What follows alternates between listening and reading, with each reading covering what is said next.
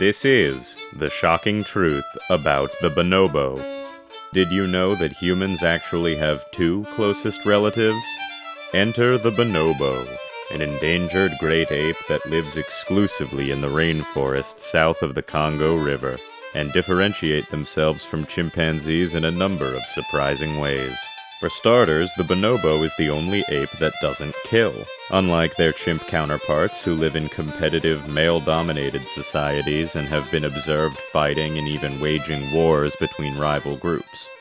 Bonobos, meanwhile, form largely peaceful matriarchal communities that can easily surpass a hundred apes in number. How do they manage it, you ask? By fucking constantly.